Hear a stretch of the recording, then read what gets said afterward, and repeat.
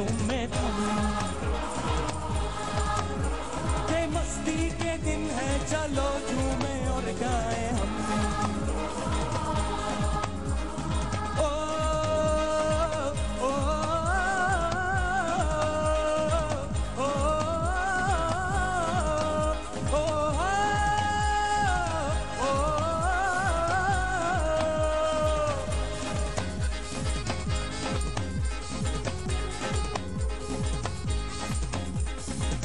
हम चले तो जमी घूमे, हम रुके आसमां डूबे। बोलो तो चाँद को छू ले सदा तो जहाँ डूबे। हो सुन ले यार, ये तेरा प्यार, हो सुन ले यार, ये तेरा प्यार। करे है ज़िंदा मुझे हर बार। के मस्ती के दिन है, चलो घूमे और गाए।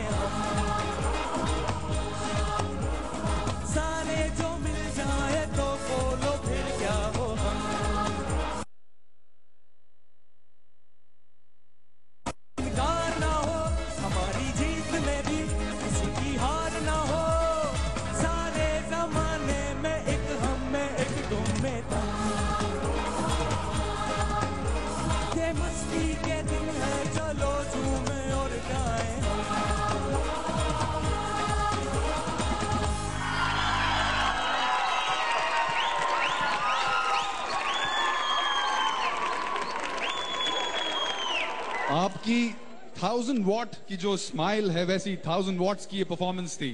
A huge round of applause for Mohammed Shoaib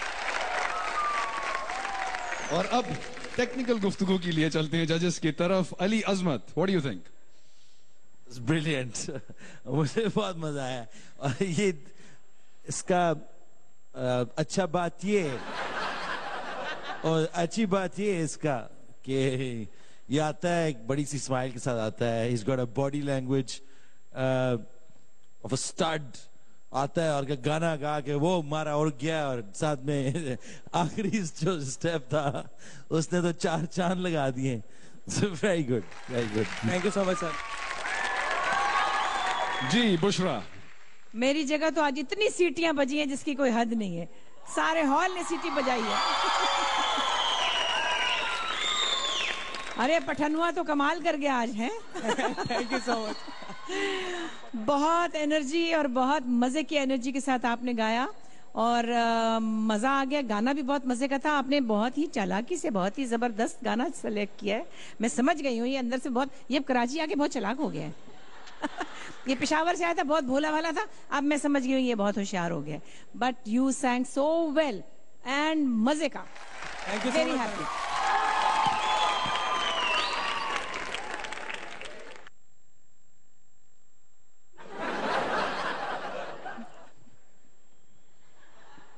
जी हदीका इसने गाना बहुत अच्छा सिलेक्ट किया है और आज इसने इतना मस्त हो के इतना मज़े में और आज एक्शंस के अंदर जो है वो सुर भी संभले संभले से मुझे सुनाई दे रहे थे। कुछ कुछ जगहों पे जहाँ पे मैं आपको क्रिटिसाइज करती हूँ, मुझे आज लगा कि जैसे आपने वाकई उस चीज़ को प्रैक्टिकली प्रूव करके दिखाया है कि आपने क्रिटिसिज्म को पॉजिटिव लिया है। और उसमें आप फुल आज एक्शन में थे और आपने अपने सुरों को भी कंट्रोल किया। बता कुछ कुछ जगहों पे हल्का फुल्का थोड़ा बहुत सुर का मसला हो रहा था, लेकिन मैं हमेशा शुएब आपके बारे में कहती हूँ कि आप बहुत, आपकी खूबसूरत आवाज़ है। आप बहुत अच्छे रिकॉर्डिंग आर्टिस्ट भी बनोगे। और फ्यूचर में आपको बड़ा मज़ा आएगा कि आपकी एल्बम्स आएँगी लोग बड़ा एंजॉय करेंगे और आप जब इस एनर्जी के साथ लोगों के सामने परफॉर्म करेंगे तो ऐसी ही सीटियाँ बजेंगी और ऐसा ही कुछ होगा। लेकिन सिर्फ़ पाकिस्तान आइडल के इस प्लेटफॉर्म के ऊपर सुरों की बात इसलिए होती है कि हम लोगों को यहाँ पे इसीलिए जज बन के बिठाया है। इन सुरों को जज करें ठीक है ना? बट ये कि I love you and I love your performance much I love you too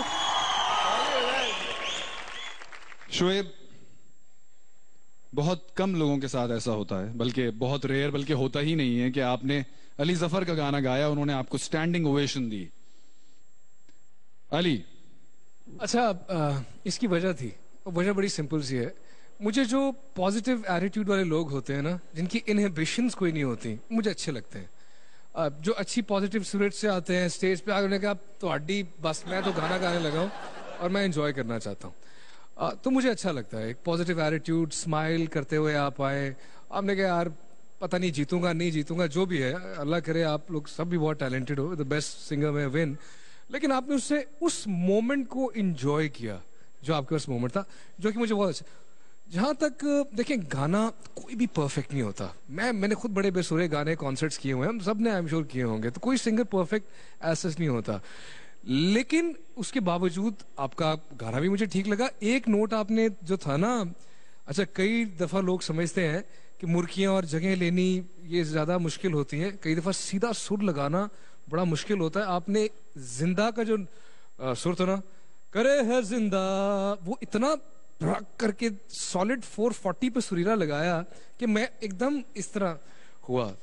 तो गाने के अतबार से भी मुझे ठीक लगा परफॉर्मेंस के अतबार से बहुत अच्छा लगा।